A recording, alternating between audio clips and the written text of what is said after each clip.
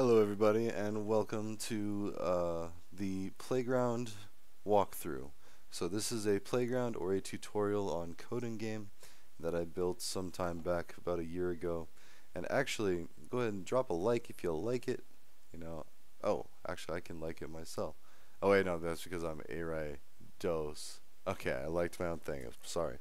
Um, anyways, yeah, drop a like if you like it, but um, this is basically the 13 subtopics that everyone needs to learn or be comfortable with to have a basic understanding of Python programming. And this is beginner Python concepts and how to get here. Uh, well, actually, real quick, this is my A-Rye Dos. So this is my second profile. I'll get a picture up.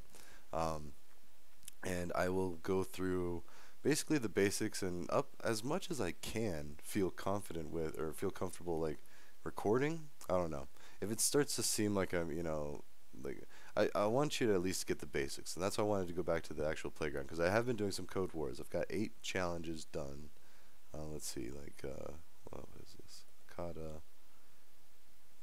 So these are the ones I've done. My stats. There we go. So I've rank done, and then oh, I've only done four. Never mind. So I've done four challenges, two 30-minute videos. Anyways, so but these are the things that I was kind of talking about. I was kind of going all fast. So we have the intro, you know, here's beginner Python concepts. Oh, and to find it, sorry, let's go back to community, learn, then go to popular. And I used to be, that I have two of my playgrounds in the top five. Now i have slipped to eight, but that's okay. So maybe if it gets more views, maybe more likes, genuine views and likes, not just myself. Uh, anyways, so then here we go. So we're here. You know, what are computers? How do they think? Than my YouTubes. and I'll update this to have new ones. And then these videos, they were okay. They're kind of glitchy because my internet connection wasn't the best. Um, that's my live uh, Twitch streaming, but that was fun because, um, as you can see here, CodinGame. Well, here, let's open that up in a new window or new tab. Sorry, um, it has two people streaming right now. So at this time, I got 20 spectators, 15. That's pretty good. So Mine was usually like anywhere between like 4 and 20. So, uh, anyways, and then there's all this extra stuff. And then how you can even create your own. Uh, I have the second part of the video. The first part of the video is like the very first video I think I did. So, yeah, in fact, let's go ahead and see what it is. Get more views on this one. Yes, this is the one. This is my A-Rye video with CodinGame. Yeah, mark this time. Um, Anyways, and then it starts like it, YouTube did this. It segmented this out because I think this yeah 1.4 thousand views. This is what my common. Anyways, it gets to be about right here. I think like 50 minutes. Then I start actually like, looking at code. But anyways, um, that's how to make. Whoops. That's how to make um, playgrounds for Python. So that's how I made this. Anyways, let's get into the next part. So Hello World. This is usually the first program people make. So and this is how to use the playground tutorial. So we go run. and it says hello world. Now just to see how you, where you change it, be like goodbye world. No, no. Goodbye sun. Let's do it that way. So it's a little less depressing sun. Good, goodbye sun. So it's like the nighttime. And now you can see it says goodbye sun or hey there, watch that. There you go. You could literally say anything um, hey there, watch that. Boom. And as long as it, and if it goes red, don't worry about that so much. Be more concerned about what the output is. So that's the print function. Now I gave a few examples of how to print different things. And then here's the actual, so you can read about them here. Slicing, like taking a string, which is a series of characters, saving it to a variable, printing the variable, and all this stuff. So let's see, boom. And it's going to run all of this stuff, and then every line corresponds. See, there's a lot of lines. Corresponds with things. So you can either do it here, or you can do it up here. So I kind of put them in the middle. So if you want to do like print hello three times, let's copy this and paste it into here. And you can paste the whole thing. Like, boom. And it should print hello three times. Hello, hello, hello. And it prints everything that's in the parentheses, or the double quotes, sorry. And you can do double quotes or single quotes. In fact, this is what I say. It's like this is the classic Hello World program, and it prints everything that you have between the single or double quotes. Now in Python, we really just ask that you use one or the other and stick with it. So uh, as long as you do that, then it's fine. Cause in fact, here we can even show you, like in live time. And this is all browser based. This isn't on your computer. It doesn't matter what. I mean, there's a common thing. If I, while I was doing that, there's a common joke in the computer science community, like, "Oh, it worked on my computer." Well, this doesn't care about what's on your computer. It runs on a Python interpreter, on a in a container in the in the cloud it's it's not even on my computer, and I even have the code for it on my GitHub, which I probably should have had, but whatever. Um, so there you can see prints hello three times. Oh, all right. Well, let's um, let's do this. Okay. So and this is how you store a variable. So let's go in here. Let's go ahead and enter a couple times. let's go back up here. You need to declare the variable before you use it. In fact, let's go and just show you what print. Um, wait. Print test up string. Let's just see what that does. There you go. It prints the test string that you saved that variable to.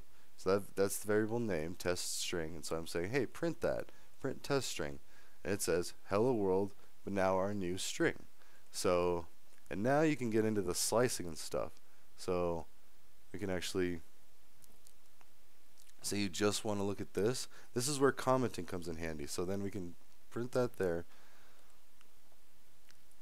And for the first bit, it's okay. It's a little crowded, but, you know, okay, whoa. So now we've got to print that, and it's, wow. It's like every second letter. But if we wanted to comment one out, we would just do a pound sign or hashtag. And then now if you wanted to add a space in there, you could also just do a print. I mean, that's the lazy way to do it, and that's just... what you can also do is a slash n, I believe. Oops. Slash n. We'll comment this out, and we'll see if it's, it looks the same. Ah, slash n. So, print test string plus oops yeah would be that there we go so the problem there was I had the slash n it would have worked better let's see let's even comment this out and see this is how you learn this is how you you know experiment play with it but it would have been better if we did this um, Oh, actually, yeah, we could just show the example here. So slash backslash n, so that's an escape character, meaning whatever is following this, pay attention to and do something different with. And there we go. So now we have hello on a new line every time. So you're still multiplying whatever this is by 3. And it, remember, we can also change this back to... You can even do... Uh, no. I was going to say, you can't do that. Oh, in fact, let's try it. You cannot mix and match. And that's how... And there's a good reason for that. So if you wanted to have something within something, you would have single or double, and you could alternate. But see, now we got it. We fixed the bug. Now it's back to that. So let's see any of these other things. Like uh, reverse the string. There we go. So you can even pull the and again down. You have all of it down here, and it prints. So you can even like comment here just be like, you know, I don't want to see that. See that. That. Oops. And if you want to comment out an entire section, let's see. What is it in Python? Well, let's look at the comments section. Sorry, that's actually, so that's the very next section. So, uh, yeah, that's fine. That just means source code modified. It'll go back. There you go. Multi-line comment is the triple um, the triple dashes, the triple double quotes, with the triple single quotes. So here, yeah, exactly. So instead of all of this, let's try dot dot dot, and then dot dot dot. See, so that everything in here now doesn't. In fact, if we did dot dot dot Actually, no. Let's do the triple quotes just to see. You know, it doesn't take but a few seconds. So we can reset the code if we want. In fact, let's see that. Boom. No, not just yet, because we want to run it and see what it prints. Just hello, hello, hello, which is that three times. Doesn't print anything else. Now, if we did, let's revert it. Yes. this is what it prints standard. And then if you take out all of these, so, you know, if you have a whole section you don't want, like this would have been better, you know, uncomment, uncomment, uncomment. And then they're not spaced properly. So actually, let's see if that, that might cause an issue here. Yeah. So this one, unexpected indent, that actually causes an error. Now let's see it. Okay, see, I only changed that one thing, uh, one backspace. So, anyways, that's comments. So that's really useful if you want to only try a few different things. And you'll notice like there's all sorts of weird stuff going on here. Um, read the read the text, the description of it. Um, if you go back into the hello world, like just printing things out. Like you can reverse the string by doing negative one. So it's a it's start step.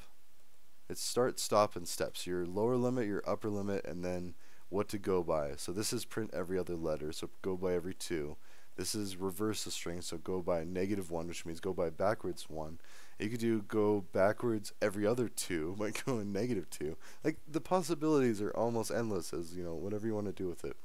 So, anyways, so we've got that, comments. Now, primitive variables. Now, Python's really easy. These are all the different types of variables. You can go ahead and read those at your leisure. Just know that if you print this, this is actually printing the type of the variable. Um, so it doesn't even have like a, a character, I think, because usually that's how you denote it in other languages is the single ticks and like a letter. But it says it's a string, so it's a whole uh, group of letters. And then a string is an actual group of letters, like hello world. And then int is an integer. Float, bool is a boolean, which is either true or false. So it's a binary val value, which can also be represented with 1 or 0. So, yeah, that's variables in a nutshell. Now let's go to functions. Now functions are pieces of code if you want to keep doing the same thing over and over. So here we can print all of these, every time you see this like multiply, that's the multiply function. See it's like got that highlighted and you do that by doing def, so defining a function. Then you name it, so the multiply function, and then you have parentheses with the parameters. So you're sending it a and b, which are variables, like we learned how to declare. Then you do the colon, and then here you return whatever you want to return. So these are very simple functions. I did a multiply, divide, um, integer divide, so then it gives you like only a whole number, not like a partial. Then add, subtract, and modulo. That gives you the remainder and not the divide. So then if you print all of these, you can see the corresponding, let's see, with uh, multiply with 2 and 5, that's 10. Divide with 10 and 3, that's 3 with 3 repeating, so that's the the one with the partial. This one's the integer, so that's the integer divide, so it only gives you an integer. And this one, 42, was it add 2 and 40. And this one, 3, subtract 5 and 2. And this one, modulo 10 and 3. So you can get a remainder of 1, and that's what modulo is. So that's just what you can divide 10 by 3, which we've proven before. Oops. Alright, so that's actually, I don't know why I was doing that alarm. We're only about like 13, 14 minutes. We're already at five, so let's just keep going. So control flow. Now this is the if else, and I've been talking about this in like some of my uh, my Minecraft musings, where uh, if you want to check those out, if you want to mix learning with uh, Minecraft videos, just be aware there is some adult concepts in there. But anyways, um, as far as here, the if else if else, this is yeah a grading program where you can do all these different test cases, and so this is basically you get an input of a score and you're defining this function. And then so you get the score and then you're doing if the score is this you know return a and this is actually a more scalable approach to this problem and this is like I, have heard this used in just about every a lot of different classes now but um uh anyways and this one is just the cleanest way to do it and it's like you could do if score is less than or equal to 100 and greater than or equal to 90 return A, and then elif, which is else if, um, score is less than or equal to 80. So you don't actually need this because anything greater than 90, which is the first test case we do, is like 100,000 or whatever that is, 1 million. If you got a million on it, which should be a typo, and you should have like code to handle that, be like, hey, that's not within the valid range, but I mean that's like you know extra code to handle if you have the computing capacity.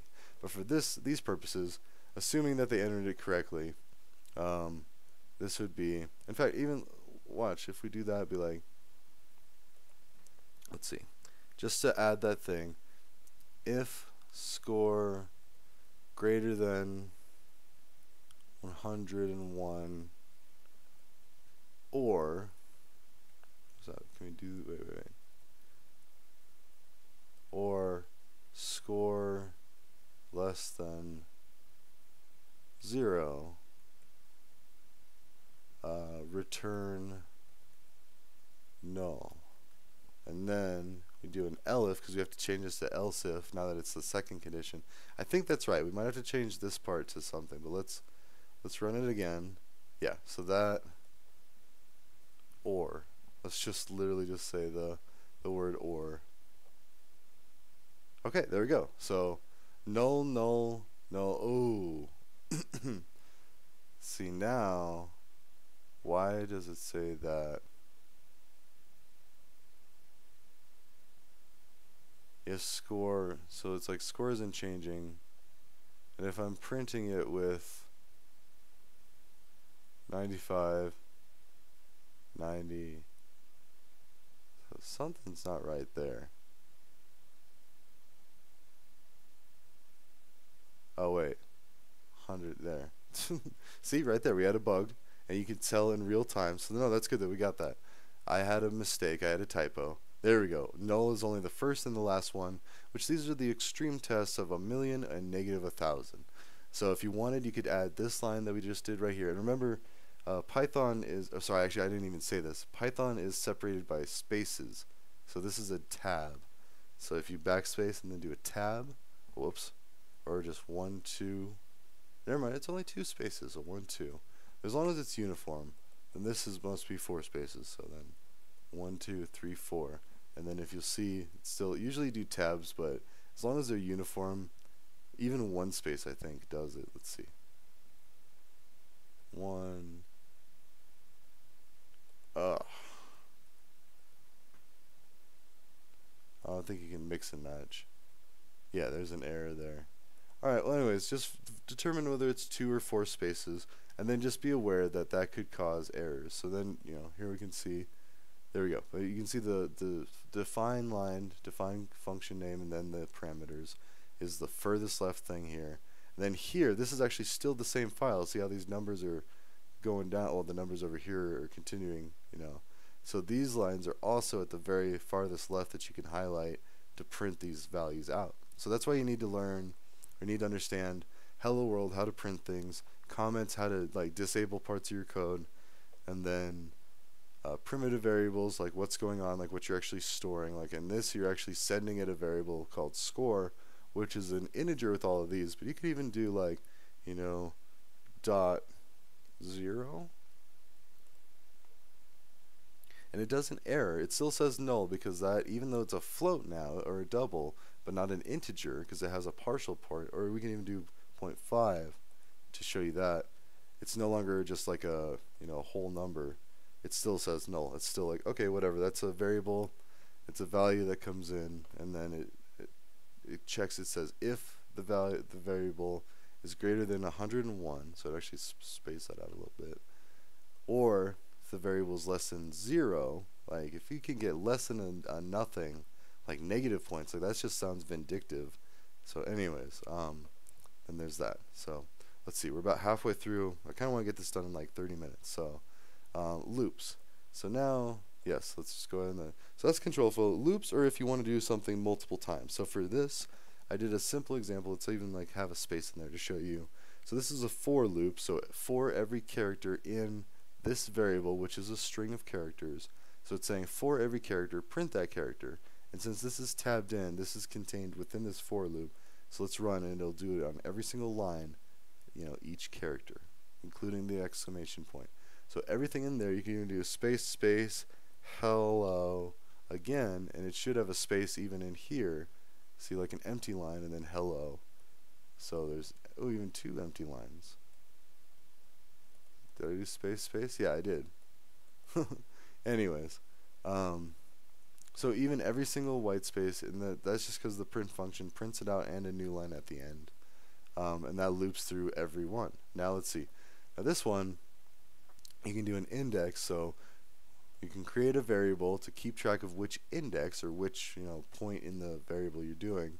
Then you can have your variable and say while index is less than the length of whatever that is. So let's go ahead and show you how this is. And then you got to increment, otherwise that's an infinite loop. So I have index plus equals 1, which increment increases it 1, and then it goes back to the loop. So while that, and here you can see, and now we're actually doing something slick. We're printing the string but at the index. And so if you go back to the um, the hello world stuff, you can see that if you just have a number in there, then that's the number of this. So like at index 0 is h because it's 0 base. And then at index 1, and that's just something in computer science I should have mentioned. Like it's 0 based. Um, anyways, you can see that it prints out the very first, nothing before. There's no blank space for that index 0. And then at this point, in fact, we can even see like um, print um, string index. So that'll print a string version of index every line. Wait, no.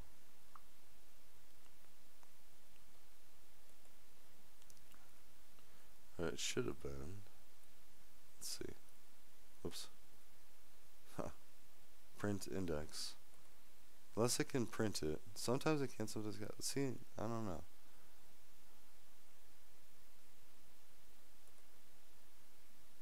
Um, hmm.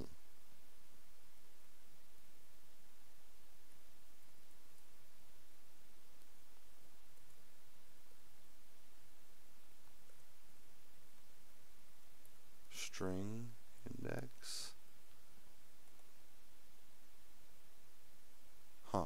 Alright, so I don't know why that's not working. I mean, it should be is strange. It's like it's not taking in the changes at all because even if I just did like I don't know print changed we should be able to see.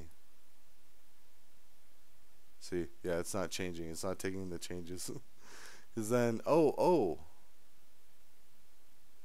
Is it the length of could be an infinite loop, actually, now that I think about that. But while index is less than length of test string, yeah, test string is that long.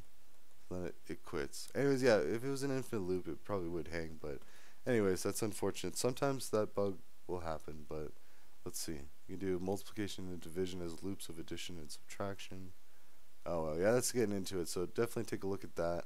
I mean, these are just like different ways to show you. Well, let's do it. So if we run this, so you're, let's see, multiplying for how many times you want to multiply, you do that. Like 2 mult is 5. Multiple answer. So wait, so you're doing 5 times 10? Yeah. Sorry, I don't even have to like read what's going on. And then dividing, so if you div answer 50, or 2 div is 50, and then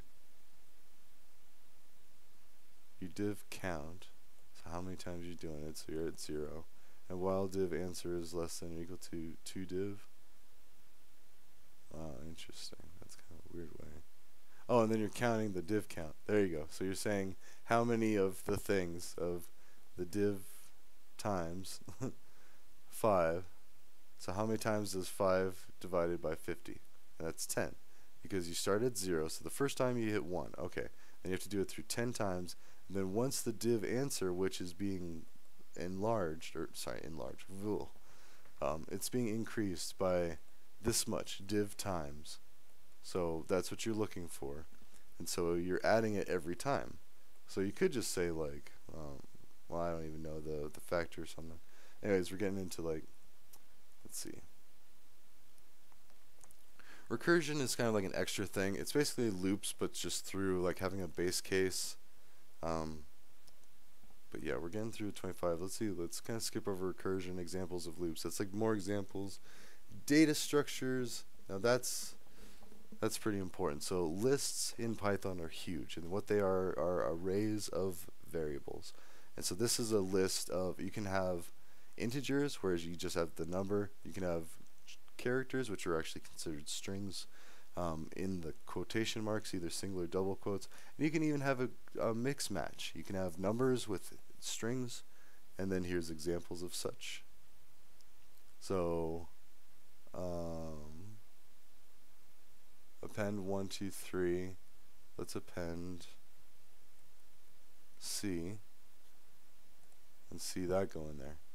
See? Now C is in there. See, first item at index 0, it's 1C3, even though we've appended. We've got example list, which is, oh, sorry, we create example list, and then we append 1, so then we print what's in there, and that's that 1. And then we have append C, and then we have append 3, and then we print all of them again, formatted like this, so you see all these print lines, like lines 9, 10, 11 is print this, print this, and print this. So then you have print this, print this, print this. So at index 0, 1, 2 in the list. So this list would be 0, 1, 2 would be 1, 2, 3, but it's 1C3. So, and then, let's see, sort, you can sort them. And so you have what you want to sort is what I did for this variable is to sort. So we've got something that's backwards. And we print, okay, just using that, sorted, which sorts the list for use but doesn't actually sort the data. So it just sorts the view. So print sorted to sort will look like it's forward. And then if you print to sort, which is the variable, it's back to normal or it's back to backwards. So we didn't actually change it. So then we have to do like assigning the sorted version of the list to the new list variable. We'll fix it. So then down here, you have print sorted list equals sorted to sort print sorted list. There you go, 1 through 9 and then you have print just to like have an extra line there. And then print using dot sort. Um actually wait. Let's uh let's cut this and put this up here.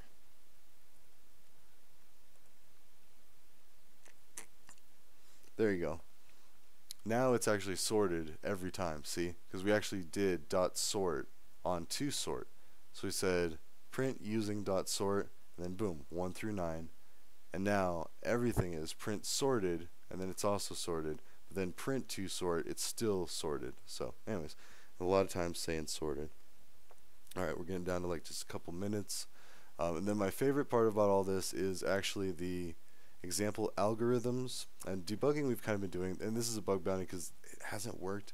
There's no money but I don't know. But that's like the description of it. I can't figure it out why it doesn't work here but if you take it it actually works elsewhere. Like if we copied it, put it down here,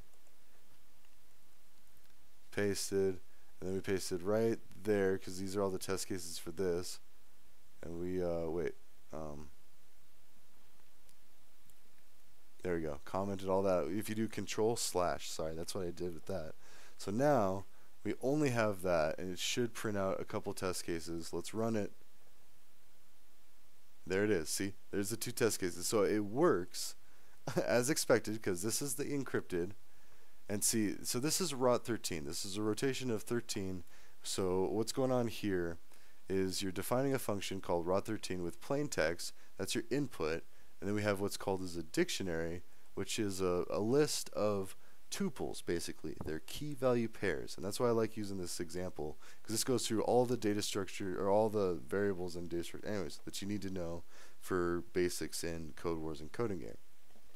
So anyways so you have this a corresponding numerical value and then you get the numeric the corresponding letter and you encrypt it by saying hello world and then that gets it into ur, ur, so and then you put and then you put that back in, and it goes hello world. Alright, well, go ahead and go check out a few of those. We might go back into some more of this, but that's 30 minutes, and I wanted to just make like a nice quick 30 minute video on explaining most of this stuff. So check this out. Link will be in the description. And good luck, and then go check out my Code Wars and CodinGame episodes for completing them. Thanks and enjoy.